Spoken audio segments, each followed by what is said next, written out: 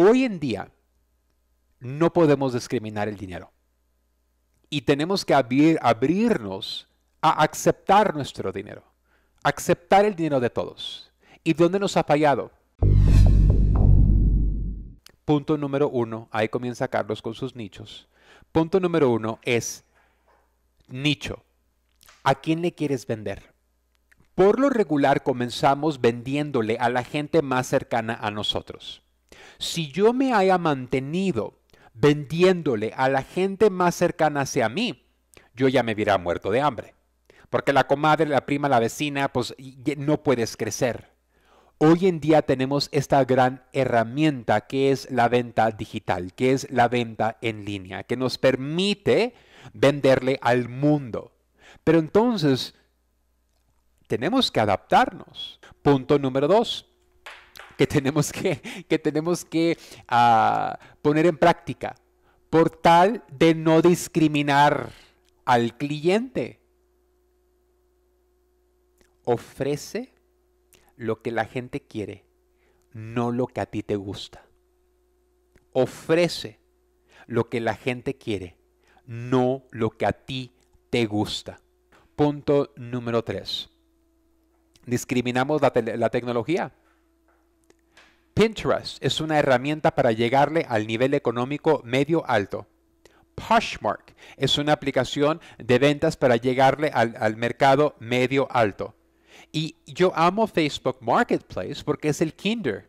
Es bueno para pulir el colmillo, para entender, para, para aprender.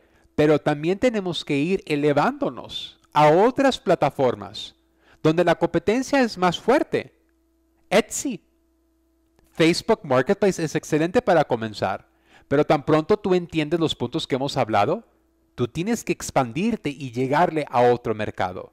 OfferUp, Letgo, Mercari, no te exigen mucho la clientela, pero ahí te va, tampoco no pagan mucho. Entre menos exigen, menos te pagan. Entre menos exigen, menos ganancia y tenemos que expandirnos. Punto número cuatro. Tenemos que entender el por qué compra. El, por qué compran las personas es muy diferente a las especificaciones de un producto o el precio de un producto. Si, si tú te das cuenta, cuando tú vas a las tiendas caras, como en Venice Beach, cuando tú vas, esto es muy interesante porque cuando tú vas a las tiendas caras de cuidado de piel, como Kiehl's, como hay otra orgánica, no me acuerdo eh, cómo se llama, pero Kiehl's, o sea, todo ahí te venden y la gente no le importa cuántas onzas.